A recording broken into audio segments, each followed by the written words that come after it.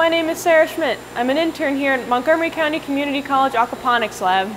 In celebration of Sustainability Month, we decided that we'd create a video for you detailing all the great work that we're doing here at the lab.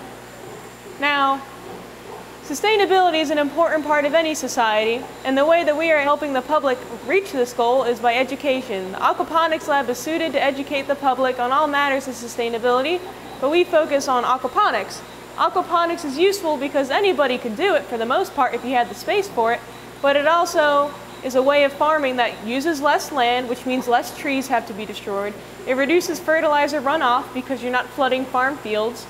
And three, it's a two-field system. Not only are you producing plant matter with the fish waste, but when the fish reach maturity, you can harvest them and eat them on your own.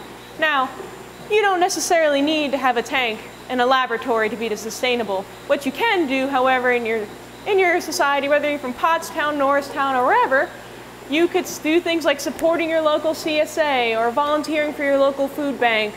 Or even if you wanted to, you could set up a community garden or support your local community garden program by donations.